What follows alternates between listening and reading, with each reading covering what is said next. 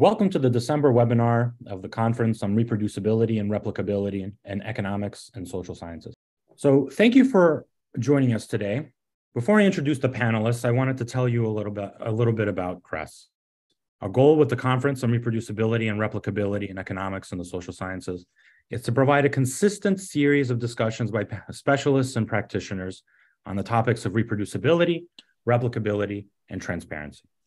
Over the course of the next year, we will have panels discussing educational and procedural barriers slowing down adoption, whether journals or institutions or funders should be the verifiers of reproducibility, whether and how scientists' work can be made to be reproducible at every stage of the research process, including at the inception and data collection stage, and implications for the training of undergraduate and graduate students. I would also like to introduce uh, Marie Connolly, a member of our organizing committee, together with Ian Schmutte, who could not be here today, and host of some future webinars, and Sarah Brooks, who keeps the wheels rolling. They'll be on mute for most of the panel, but Marie will be monitoring the Q&A and relay any question. Uh, I really hope you enjoyed today's webinar, Reproducibility and Confidential or Proprietary Data. Can it be done? We look forward to hearing from our expert panelists and for your questions. Each panelist will start with a brief statement followed by a discussion here on the podium. At the 40 minute mark, we will turn to audience questions. To submit a question, please type it into the Q&A and we will pose your question to our speakers on your behalf. Without further ado, let's introduce our panelists. Today, we're joined by three panelists, John Horton, who is professor at the MIT Sloan School of Management. His research focuses on the intersection of labor economics, market design, and information systems. He worked for two years as staff economist for oDesk, an online labor market. He has a BS in mathematics from West Point and a PhD from Harvard University. Paulo Guimarães is the head of the microdata laboratory of Banco de Portugal, which makes confidential data available to non-bank researchers as an, and is an invited professor at the University of Porto. His interests lie in the application of econometric techniques to large data sets. Lars Vilhuber is an economist at Cornell University, executive director of the Labor Dynamics Institute. He is the American Economic Association's data editor, where he monitors compliance with the journal's data and code policy and is on advisory boards for French and Canadian restricted access research data centers.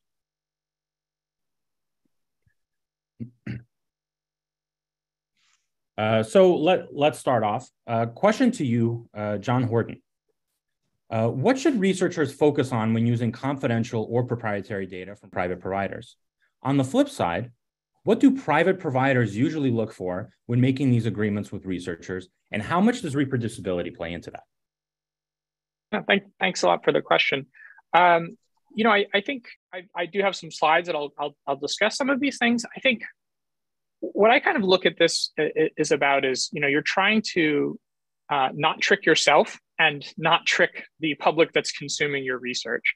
And I think part of this is even if you can't share the data, structuring your code and sort of how you actually do the craft of research in such a way that it builds credibility is, is important. And then you kind of have this kind of stage where you can try to haggle with the data provider to release as much as you possibly can.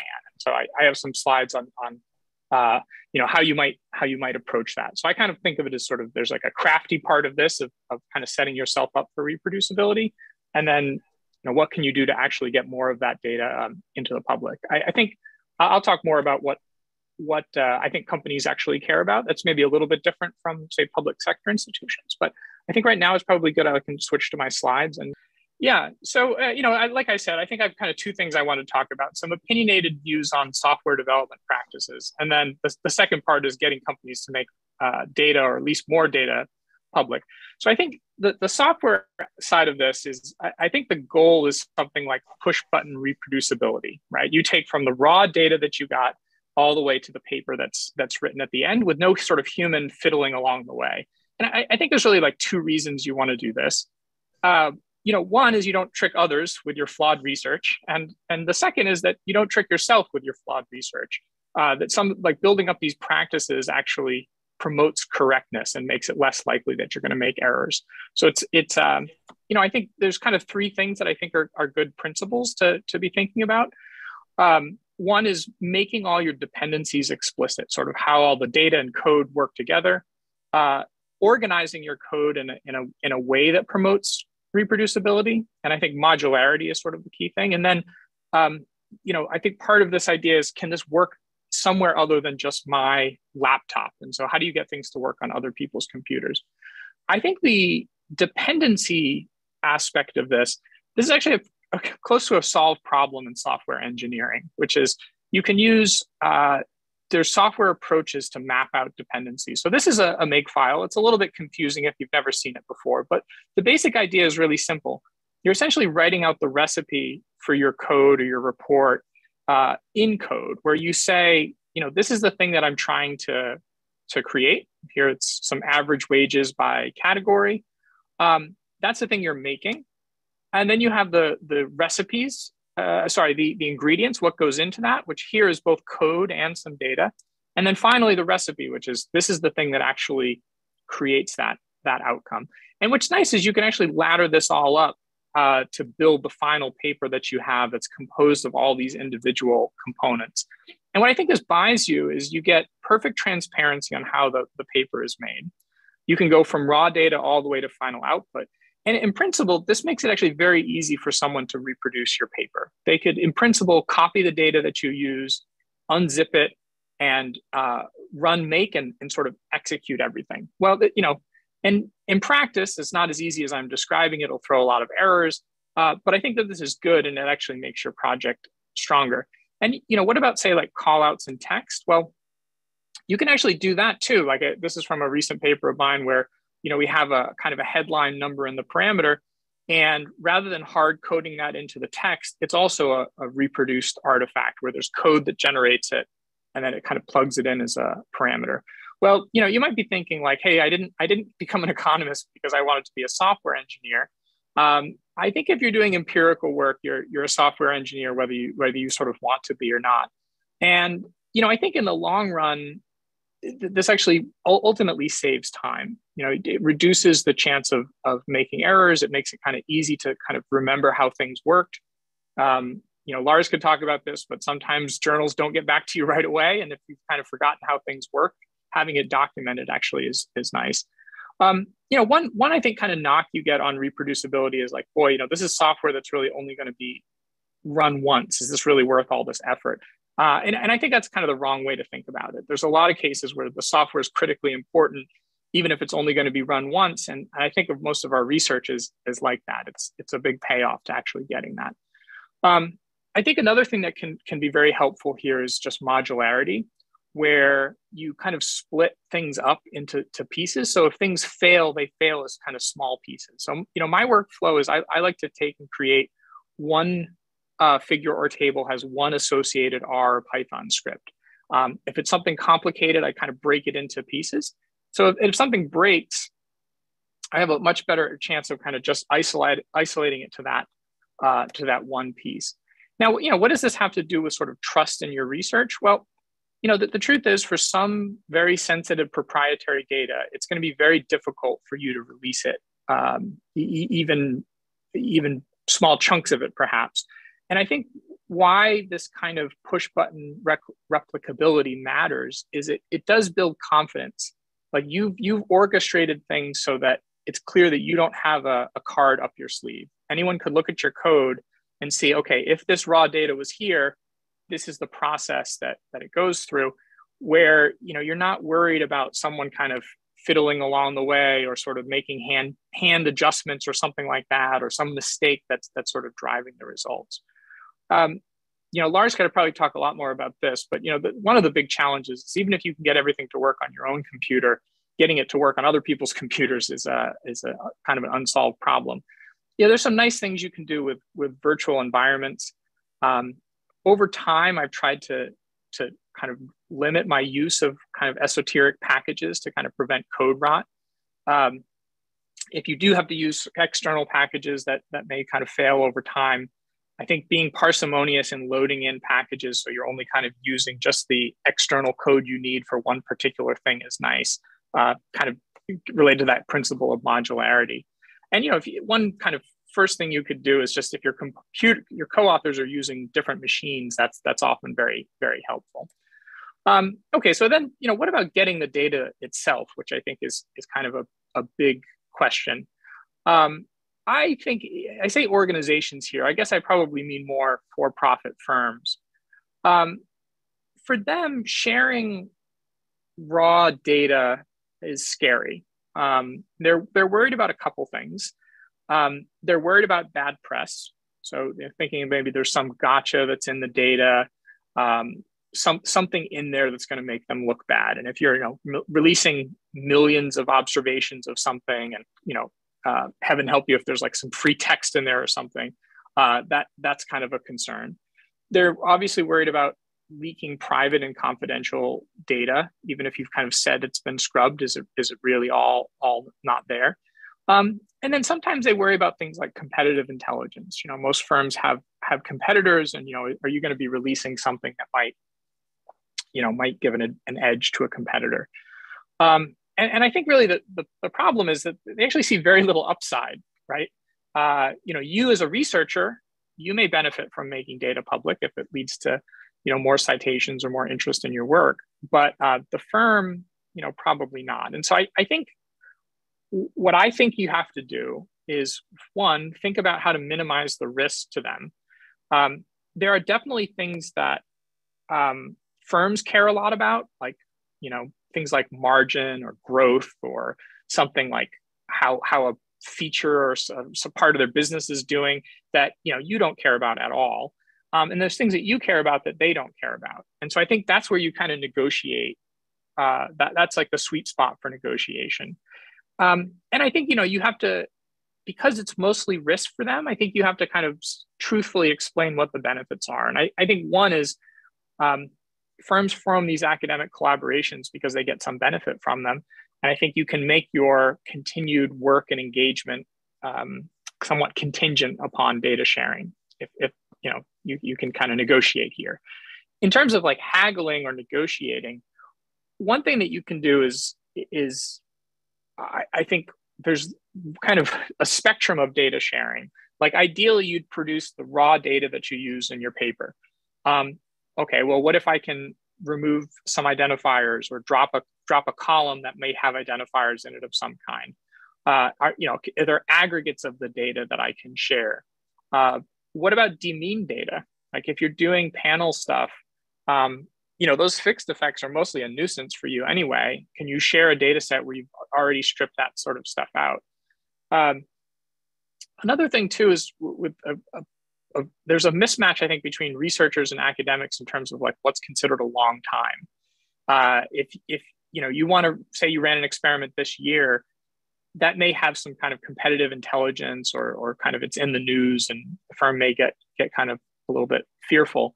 Uh, but if you're talking about stuff in you know a year two years five years 20 years you know i i hopefully if nothing happens to me i hope to still be doing uh, uh, you know research in 20 years and and the data that i've collected now i could imagine still being useful in 20 years so possibly you could you could negotiate for a release in the future um, that would still help uh, I, I, one thing that i've been kind of interested in lately and i really haven't explored it much but in the business world, there's a lot of interest in synthetic data, where you take a real data set and then generate synthetic data that's that has some, in some sense, like the same properties as that real data. Um, I'm just kind of getting my toe, uh, dipping my toe in the water here with this, but I think this might be an interesting kind of half measure between releasing real data and not releasing any data at all. Um, but I, am you know kind of curious about that. Uh, so, all right, thanks. I'm going to stop right there. Thank you, John. That was a very interesting uh, presentation. There are a couple. I was actually uh, right in the middle of writing down a question to ask you about synthetic data. Uh, ah. where sort of private providers have been using that um, because it's it's relatively recent, especially with these like the Susan Athey uh, work that's been going on. Um, also, something that resonated with me was this idea that as economists, uh, you know, just uh, we're not software engineers, right? Um, which I think as soon as you do pick up a programming language, you sort of have to think about a little bit about software engineering. Uh, And I certainly feel a lot more trust in the code that someone writes if the code is more modular and it's kind of like commented because it shows me that they've also kind of minimized their chances of making a mistake, you know? Yeah, I, I mean, I, I think it, you can kind of think of any complex empirical project as like a pretty substantial software engineering project. And, you know, the, the discipline of software engineering has been around for a while and they've figured out a lot of things. Like if you kind of look at like what their best practices are, um, you know, we don't have to reinvent the wheel as economists. We can kind of lean on a lot of the experience that people have had making complex software for, for years. Yeah. Yeah. I mean, a lot of the a lot of the uh, kind of the presentations that I've been doing in workshops is really just re- kind of regurgitating a lot of software engineering stuff uh, to terms that sort of researchers can understand. Um, well, yeah. Again, thank you, John. Um, yeah, my pleasure. Now onto uh, Paulo. Uh, BPLIM provides access uh, to confidential administrative data to many researchers. Uh, what can researchers rely on uh, if reproducible analysis is asked for, for instance, by data editors like Lars and Marie? And how do you manage that with your team organizationally and technically? So I'd like to uh, invite Paulo now to uh, answer or present if you have any slides. Sure. Thank you for, for the opportunity too. I mean, uh, so what, what we're going to be doing is, uh, what I'm going to be doing is just uh, tell you a little bit about our experience at BPLIM and, uh, and, and so let's start with a little bit of context. BPLIM is recent. It was established in 2016 and is part of the Economics and Research Department at the bank. And when it was established, the main objective was just one, is to make sure that the excellent micro data sets that are available at the Bank of Portugal could be uh, accessed by external researchers. I mean, to, and that was the main objective. So Bank of Portugal over the years has collected very rich data sets. I mean, they are administrative data sets, uh, the typical administrative data sets, they are universal, they many years. Uh, to give an idea, for example, uh, the credit, the central credit register uh, is, um, is a monthly collected data set of all credits that are held by financial institutions over firms and individuals if the amount of the credit exceeds 50 euros. So you can see it's millions and millions of records. But of course, they contain sensitive information. And since they contain sensitive information, uh, we could not use the usual, the usual formula of just making the data available. So the common solution for uh, making confidential data available at other research data centers was simply to have a secure computing environment, just uh, let researchers, accredited researchers come and analyze the data on site. The, the, that solution was not, uh, we didn't like that solution, let, let me put it that way, simply because it would limit access to the researchers that could come to the bank's premises uh, so we wanted to make sure that if we had an approach that any researchers from anywhere could use the, the, the data sets at the bank. And there were also some legal concerns on our side about access to the data and the fact that researchers could use or could be analyzing the original data sets. So the solution that we ended up adopting at BPLIM was uh, based on a set of principles. First, we had to make sure that access was exclusively for scientific purposes and free of charge. All the data that had to be analyzed had to be, all, analysis had to be done at the servers of the bank. We could not let the data out. We had to provide uh, remote access to the data. And the data sets that we had, some of them were classified as low confidentiality and others at medium or high confidentiality levels. This is a scale that we, we, we, we created. And of course, since we are talking about confidential data, uh, in our interpretation, these will be medium or high confidentiality level uh, data sets. it was also uh, decided that all these type data sets, I mean, medium or high confidentiality level, they had to be perturbed. I mean, what researchers could work with was not the original data, but some modified data set.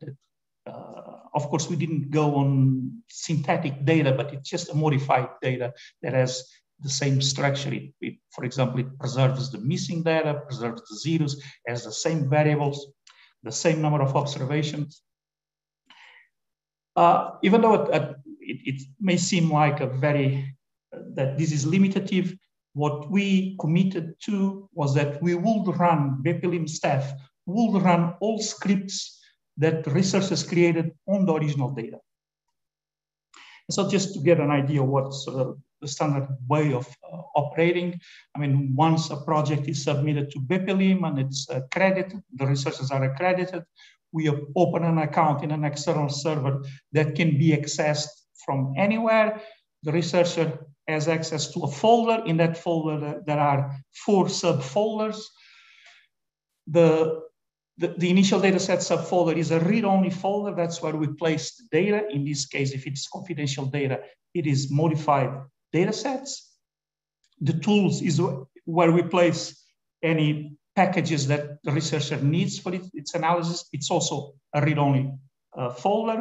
So, uh, and then there is the work area. That's where the researcher can uh, write and read, uh, and that's where you, you will work. And finally, the, the, the, the other folder results, it's where uh, he can put any output that he wants extracted, and so that we can do a standard verification for before we can release it to the, to the researchers. So there, are, there is no possibility of uh, file transfers to and from the server. Installation of packages has to be requested, and the researcher has available Stata, R, Python, and Julia. So these are the typical software that's used in economics, at least that I know of. To, if the researcher is working with confidential data, so this is how it works. He gets access to the particular data set, he implements his code, then he generates some preliminary results. After he generates his preliminary results, he asks us to replicate it on the original data. Before we do so, we have to be able to generate the same results that the researcher did. If we are able to do so, then we implement the code on the original data. If not, mean, we simply ask him to review his code and because we weren't able to reproduce the, the data. So our experience so far is this is this works and it's a bit cumbersome because uh, uh, it ends up we have to do it on our side. So the research codes, then on our side we have to replicate these results, and then we have to run it again on the original data. It ends up being an exercise on reproducibility using the perturbed data. And of course, if it works well on the perturbed data, I mean, the same code should in principle work uh, well on, on the original data because it's, it's just a matter of uh, changing the data sets that are read, being read. When we start looking at, at this process, then we decided that uh, we, we needed to streamline this process somehow. And researchers they had what, what, they were doing. I mean, the, in their research process, we will have a lot of gain, a lot to gain if they could use the best practice on reproducibility. This is because we actually what we were doing was reproducing their work. And, and so we decided to implement uh, several initiatives like workshops. We talk directly with them, give them advice. Uh, we supply them templates as much as possible and documentation and and also for some of the things that are done recurrently on our data sets we provide tools some uh, some tools that can help them do that work and they don't have to reinvent it and then on our side we also we, we also realized that we could improve our work sequence and uh, how? the way we operate, so the researcher goes to the external server and he codes everything. And then when it when it's done, he asks us to reproduce the result on the original data. So what we have to do is move to a different server, a different place, and to and then try to run his code. So we had we will benefit if the computing environment of the researchers that was used for the replication was the same as the one originally used by the researchers.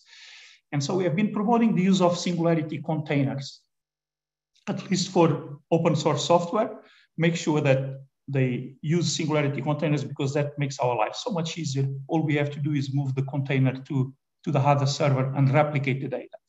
And we also have been trying, and this is, we are actually better testing this, which is to shift the burden of this reproducibility check to the researcher. Uh, let me explain uh, what I mean uh, by this.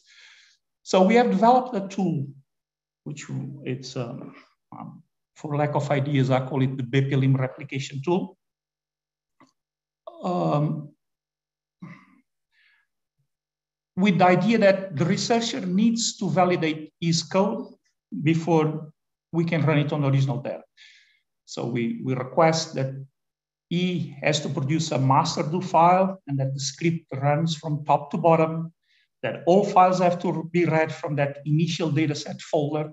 So any intermediary output files that are created during have to be created during the replication.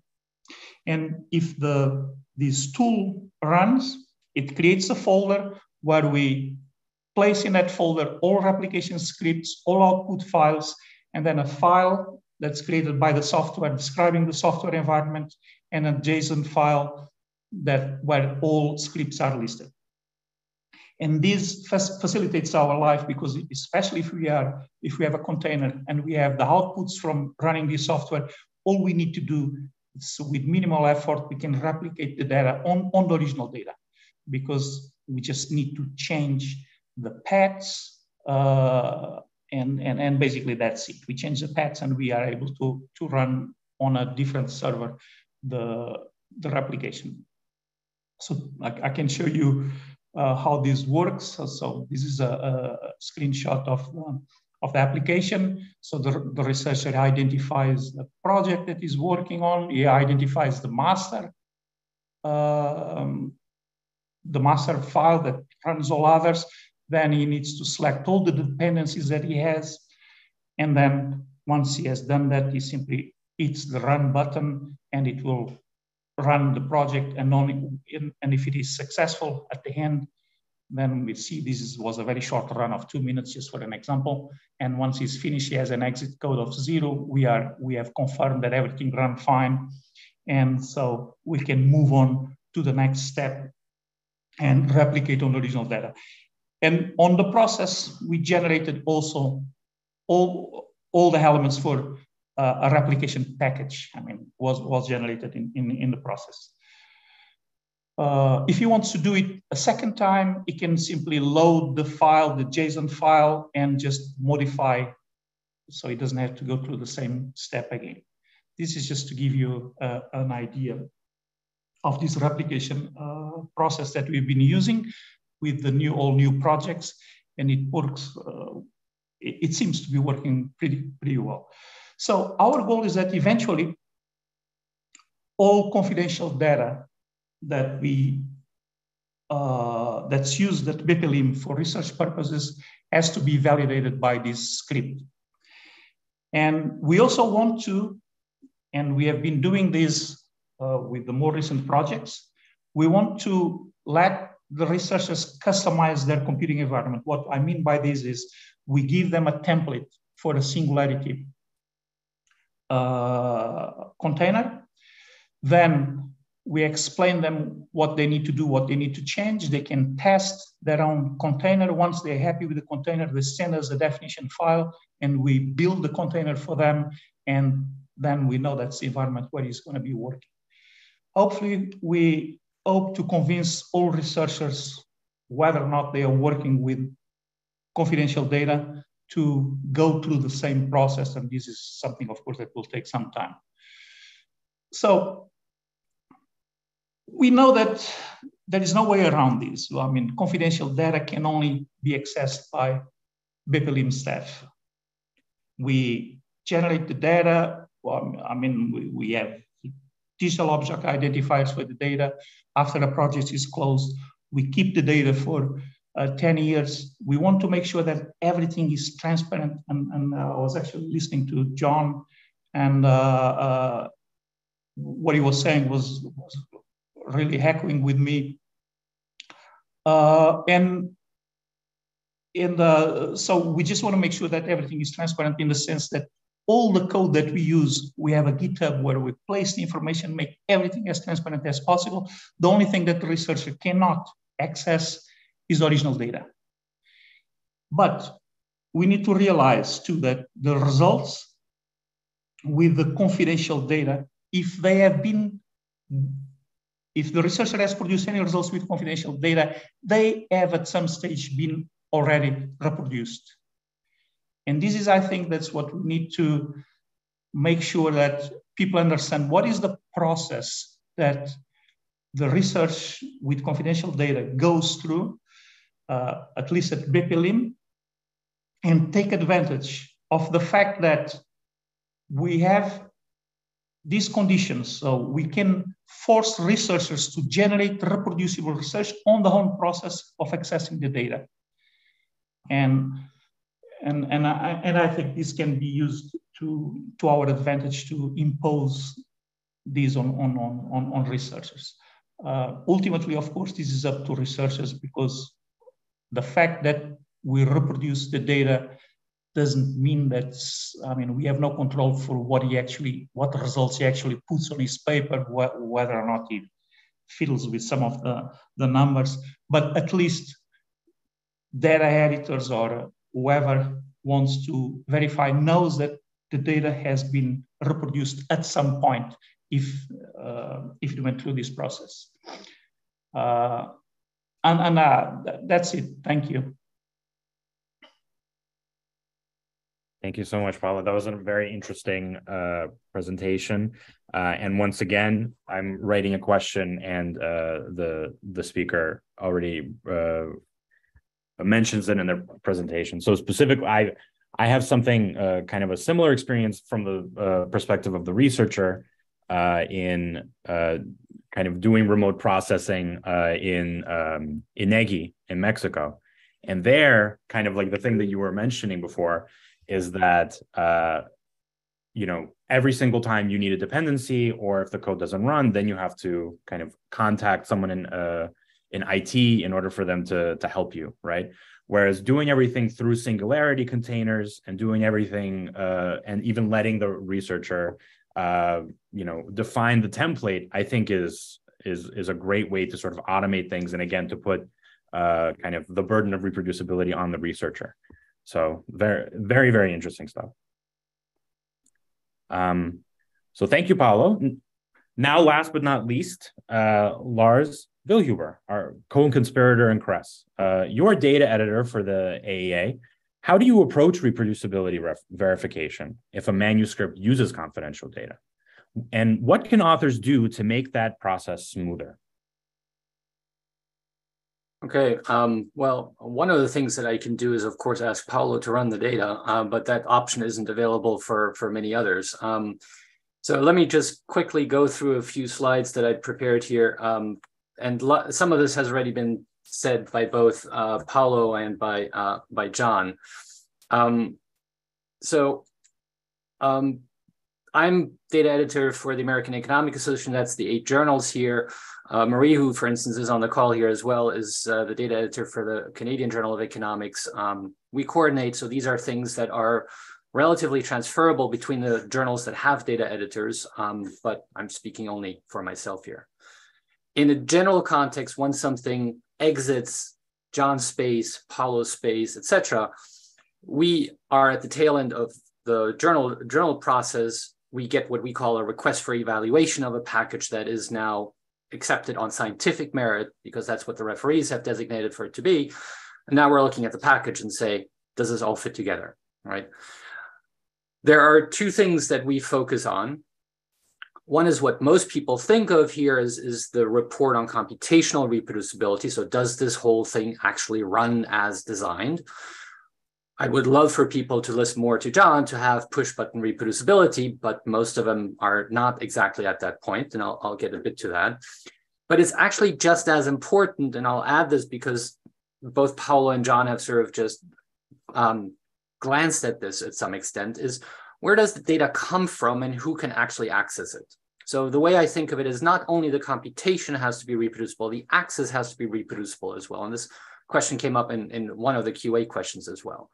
Now, in a case like Paulo's, that is relatively easy. There's a fixed process for this. There are many researchers who are coming to a center that has defined that process. For company data, it becomes way more complicated. And as part potentially of the discussion that John alluded to, how can I make this a long-term relationship? But how can we also figure out how others might potentially access the same or similar data at this? at a minimum, and we have quite a bit of success of doing that, and I'll, I'll, I'll get to that in a moment, can somebody who's not part of my original team access the data and um, under the same conditions that say John had and verify that actually what he's claiming is push button reproducibility actually is, right? And so we've had a few cases where people have actually incorporated into their data access contract the ability to designate a journal editor to later can access the data or have uh, facilitated access for us signing the same data use agreements with these entities, et cetera. That tends to be, again, focused at larger firms who have more experience with uh, working with researchers to know what their mindset is, who may even have a staff economist on, on uh, working with them. Um, but it's something also to think about uh, when, when um, contacting uh, the data. So the typical picture that I draw here is that we're focusing at the journals on reproducibility, that's the maximum that we can check, but we're setting the groundwork for replicability, taking it into other contexts, taking it into other environments, taking it to other firms, taking it to other uh, confidential government data, et cetera, because our ultimate goal is to be able to generalize from the body of research that emerges from this. And we have quite a few there's a special issue in quantitative economics right now that looks at uh, inequality across the world using many different administrative data done by multiple teams uh, there's a paper that is soon to be forthcoming in uh, AER Insights that looks at a single team that ran the same specification on six countries' data. These are sort of various ways of doing this. They rely on reproducibility and replicability, right? So um, uh, what drives reproducibility are things like, can the code run again? And is there actually code? But also is the right data available? Is the same data available that say uh, the person before me had? Um, is this specific data, or if I can't access the same specific data, is similar data like that available, right? And so reproducibility goes to that point as well. If I can't access this company's data, but this company is a provider of something that there is a marketplace for this, this is not the only person there. Can somebody else go to the competitor and uh, or, or maybe something down the line that is similar and extract the same kind of information. That is extremely valuable. It is also extremely hard to get people uh, to, to provide because it's hard to provide in, in and of itself. Okay, so John already mentioned a lot of this. Um, transparency is the key thing. It's theoretically uh, uh, highlights or avoids cheating and fiddling with the data, et cetera, manipulations that don't seem right, um, and those kinds of things. And we certainly see that going on as well. It reduces the effort for replication, even if nobody else can ever um, access this precise data, but it, replication attempts become cheaper. And it allows for expert inspection. Somebody can look at the code and say, this just doesn't make any sense. You did this wrong. And that might be a software engineer who says, the way you do this is going to screw up your stuff right? So to run the code, we need access to the data. Okay, public use data is good. That's the uh, sort of litmus test here. Can this run on public data? But curated access is good. Streamline access to data is, is important. This is where working with government data, despite all its downsides occasionally because it's complex, et cetera, is, is useful because hundreds, thousands of researchers can access the data versus few people can access a specific company's data. Um, we want to know how people got the data. That's where data citations come in. But data citations are not the end all because you kind of want to understand how the complexities of these various access models play out, right? Um, it's easy to sort of say, go to this URL and download. That's called open access. It might even involve clicking through a license, then we'll call it public access or something like that. But how do you get access to firm data and how does that intersect with the reproducibility? So we're trying to maximize the amount that people, the amount number of people who can access the data by making the description as informative as possible, right?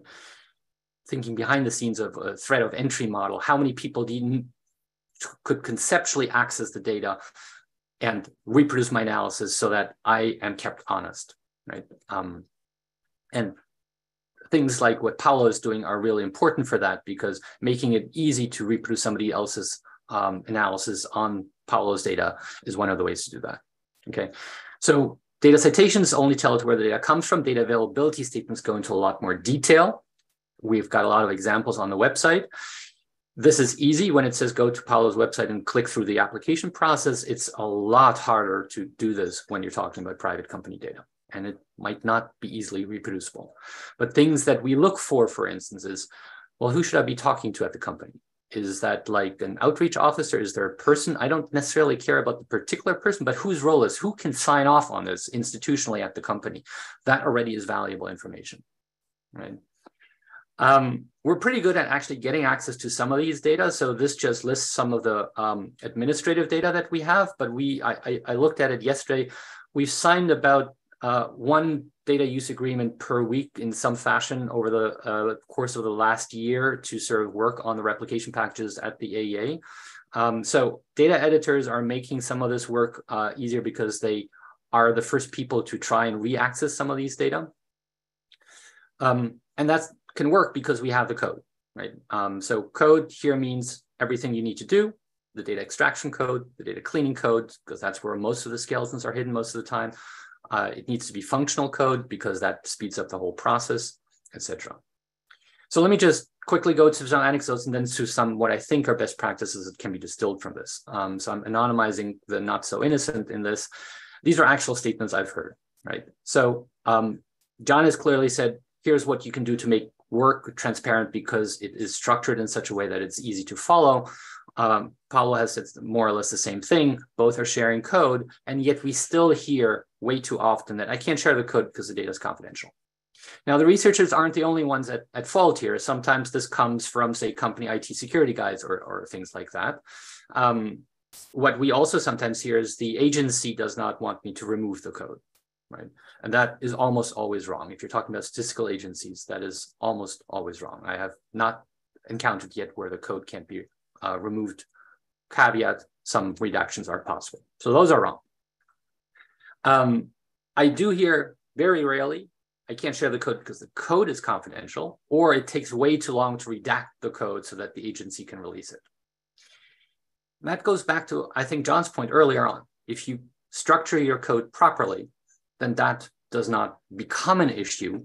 And so uh, this starts right at the start because doing all this ex post is, is really hard, right? It really is kind of a solved problem anyway, because if there's confidential parameters in the code, uh, if you go to any of the online environments, as John said, these are solutions that have existed for a long time. There are interfaces that will just, you run your code and as it gets all the, gets to all the confidential parameters that you've coded in, it just redacts them right out of the log file. And sure, you can circumvent that. It's not foolproof. You can shoot yourself in the foot. That's certainly possible. But these are known solutions. Maybe this should be a feature of Stata, SAS, R, et cetera, that runs in these kinds of environments that we sort of toggle on confidential mode and we've designated these are secrets and you shouldn't show them. Not sure. I can certainly see this as being really useful if it were implemented in some of these environments. Right. Um, as a simple example, I don't know how much time we have left. Um, say this is an example I, I, I, teach, I'll have a link to it at the end. Um, this would be census data, relying on tax data. A lot of these things, this is made up stuff, but in that particular context, many variables are deemed confidential. Uh, seeds might be deemed confidential, things like that. How does this look like if you actually redact the code? You make the code non-functional. but we have seen this code so many times. This code now no longer works when you run it, and it no longer works when somebody else wants to run it. So how should one go about doing this a bit more uh, structurally? Well, create a file that contains all those confidential parameters at a minimum, right? And then just include some dependencies. Here I've coded them in Stata. You could do them um, in, in, in, a make file, uh, but just grab all the things that you're told you can't release and stick them into a separate file, right? And then you can include that and take care with the logs, maybe make it silent, something like that, okay? The other thing, and this is a bit more, uh, this is sort of handled for you if you're working with uh, statistical agency data, but take company data that you've received, what can you release? John emphasized the point you're trying to release as much as possible. But um, it's not just because you've added noise that now you can go ahead and publish it because you think you can publish it. Keep talking to the folks who gave you the data in the first place because this is not necessarily a decision you can make on your own. Um, so um, I these are quotes that said, I've added the noise to the data. I can now publish it turns out to be wrong when you actually ask the people who gave you the data in the first place, right? So keep talking to those data providers, right? And the other thing is that, of course, just because you found it, this is the flip side of it, doesn't actually mean that you can post data, right? Again, uh, there are rules around that. We can go into separate discussion about whether or not web scraping gets you the data in a legal way because it's right to use, etc. Um, um, but you don't get to second guess what the provider, uh, whether it be a company that you're working with or whether it be a data provider who makes it available over the internet, etc., does these things. Uh, authors have to follow those terms of use. Uh, they end up uh, impeding reproducibility because we've had to withdraw replication packages because they contain data that they were not supposed to contain, right? And that then breaks it. Okay, so those are things not to do as well. So uh, just as a quick summary, um, the full description of the access path gets us reproducibility of access, okay? And that, that might not always be the same path, right? So even if Paulo publishes a paper, he has different access to the data than the next researcher. Describing how somebody else can access access to the same data is sometimes an exercise in stepping out and looking through the front door, even though you came in through the back door. Full provision of all the code, that gets at the transparency and gets at the potential reproducibility of computation. Even if I can't run it, I can at least conceptually go through it. Okay. Taking into account early on any release constraints, trying to maximize what you do, but staying within the bounds of what you're allowed to do, and taking that in what you can do that avoids surprises. Okay. And combined, I think these make for a more transparent paper and ultimately allow for a greater replicability of the paper in other contexts with other data, etc. And I just caution that this is important even for saving time. This is an older story from a while back when it came out that Facebook, which has made efforts to make its data available through the Social Science One, turns out their data processing had an error in it. Software engineering stuff happens, things get detected and they redraw rule the data. And the comment I want to emphasize here is that people said, oh, this is going to screw up the PhD thesis of my student. In John's world and in my world, if you just say make again, you're only delayed by the time it takes to reprocess the data again, not because you need to in a complicated way go through a bunch of programs that are, are time consuming, etc. That's not a statement just for confidential data, we have seen so many inefficient public use computation practice where I pity the poor PhD student, but this is where you gain yourself from reproducibility. You make yourself, you inoculate yourself against errors like this that may affect something, whether through somebody else's fault or your own fault, you discover something way up in the pipeline. You have to do everything again, type make, and we're done. Right. I'll stop there. Wow, Lars, thank you so much. Uh, I felt like I, you know, I've been guilty of a few of the a few of those data misconceptions myself, so it was good to good to be called out. Um, one one question, maybe this is to uh, to everybody, is whether um, just something coming to mind is you know when it comes to confidential data, and we know that authors can't share that data. Is there, uh, let's say I do uh, I do submit to an AEA journal is there any thought of maybe maybe this is ambitious but having some sort of like very restricted nda dua uh, with the company that's specifically for replication purposes uh, that uh, you know it will be restricted to let's say data editors or you know people that want to replicate uh, so that the the the data is still confidential and it can be de-anonymized in any way that the company wants but it is just used strictly for replication So let me start from the journal perspective and then hand over to John from what he sees as feasible within companies' perspective we actually try to maximize the amount of access that somebody can get. That includes that intermediate stage that only the data editor can access the data. And there are many scenarios where that is the case, including those where there was broad access and we're some of the last people in through the door who can still access the data, which then no longer becomes available. The ZTRAX Zillow data comes to mind, who had a proper program, shut it down, and only those with a foot in the door can still continue doing stuff in scope with our with our projects. So anything where we can get access to the data is better than nothing because we can at least demonstrate that we got access to this, ran through it, et cetera, and that can be incorporated into agreements. Now, whether or not the company is responsive to that or interested in that, that's a question to John about how, how frequently he's seen that happen.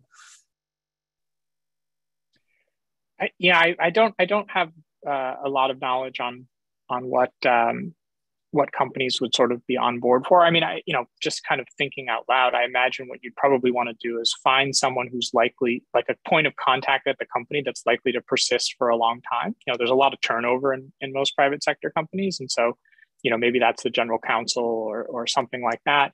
I mean, and I ideally, if you've you know been working with that company data, you could leave a nice replication package like you know here's this tarred up archive that has everything you're going to need um, you know that's what you ideally should do. I, I think you could probably narrowly tailor it so that you know people can come in. But I, I mean like a bit you know ultimately what, what you really want is people to build on this research. Like you know is this true? Um, and if it's if it's not if there's a problem it would be nice if they had the right to kind of write a comment or you know force a you know kind of like a further the scholarly dialogue about your your study. That may be harder to pull off but you know, that's ultimately what you would maybe, maybe just one quick add-on to that. One thing that we have seen be amenable which i think companies should in principle be open to is you rarely work on the company on the company's data as only yourself. So you need to be able to designate your ras your collaborators etc one of the ways occasionally not always that we found to be able to access data is we become collaborators for the purpose yeah. of the contract. We're not actually collaborators on the paper but we are we are actually not even researchers by the terms of the common rule and IRB terms, et cetera, because we don't publish using the data. We just verify that it actually produces the same thing. So becoming a collaborator, the ability to relatively quickly add on an additional person is one way to handle that, right? So that's when the contract is still live. That's nice. Yeah, I, I so in my academic publication agreements with companies, which you know we could have a whole other discussion about that. But one of the clauses that I've included is the right to add co-authors as I see fit. But Lars, now that you bring it up, I probably should say collaborators rather than just co-authors because it would be nice, uh, yeah, to do exactly that. That would probably be very easy. Like you've reserved that right a- ahead of time. Yeah, that's very interesting. Um, mm-hmm. So, you know, I'd like to thank all the panelists for the thought-provoking and interesting material. I will now open up the webinar to questions again. Please enter any further questions you have uh, in the Q&A section. We welcome further in inquiries or uh, queries to a particular panelist or broader questions directed to one or more panelists. Uh, as before, I will be monitoring Zoom chat for questions as well. Uh, so this is actually interesting. The, we have a question from Lars to John. Uh, how often do you work on your computer, on your own computer, and how often on environments do you not control such as a company's computer? And how does that affect the ability to show re- reproducibility to others? Uh, that's a great question. I mean, I, this is going to sound really esoteric. I, I, often like SSH to the into the big computer I have in my office to work, so I'm very like comfortable working on remote machines. I've kind of set it up so that I can like work from my iPad or or whatnot. Um, yeah, it's still I, an environment you control. Yeah, it's still an environment I control. I, I mean, like I think it varies. Like some companies like you know here's a server have at it and you know you can do whatever you want. Others you know they, they're really uptight about you know you using their laptop like their hardware. It, there seems to be a lot of variation in in practices. You know i think generally speaking like the bigger the more locked down and and, and tighter the smaller it's a bit more loosey goosey I'm also thinking in terms of the availability of tools, which also then segues into um, what what various uh, statistical agencies offer. You might not have make in all those environments, right? Yeah, I mean that that I mean that's I mean ideally, you know if you are if you have to work on the like say a private sector company and you have to work on their servers um, you know you're not going to be able to put stata on very easily. You're not going to like show up with a you know a dvd like can you put this on this? You know uh, that would be a good argument for kind of trying to stick to plain vanilla open source stuff that you know is going to be easy to install. But yeah i mean if the machine's really locked down um, and you can't install things everything just gets harder. Yeah. Uh, let, let, let me say something. I mean it's also based on our experience. When uh, we have had a couple of situations where it's public institutes or and, and, even a private uh, company. What they did is they placed the data on our server and we established a protocol with them making sure that the data will not be released. And so all research is implemented using the same process as we do on our data but we just um, all the, I, I mean, we just make sure that we have the, put our infrastructure to that use. And, and that has worked well because they trust us that we will not make the data uh, available to anyone else and will preserve the confidentiality. So, the, of course, this doesn't apply to, to a lot of situations, but it's also a, a possibility when it comes to working with, with, with the companies or even other institutions that do not have the possibility of running analysis on the data. So thank you for that. Thank you for that interesting discussion. Uh, unfortunately, uh, we are at time now, um, but uh, all of the rest of the questions we had in the Q and A, we're going to forward them to uh, the speakers today, and hopefully they'll uh, go get back to you and you know continue the discussion. Uh, thank you all for attending the CRRESS webinar, Reproducibility and Confidential Proprietary Data, Can It Be Done?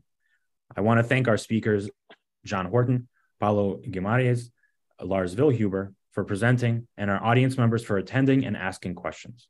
Our next session on January 31st, 2023 at our usual time at 4.15 p.m. Eastern, uh, we will discuss disciplinary support why is reproducibility not uniformly required across disciplines? With Kim Weeden, Betsy Sinclair, and Hilary Hoynes.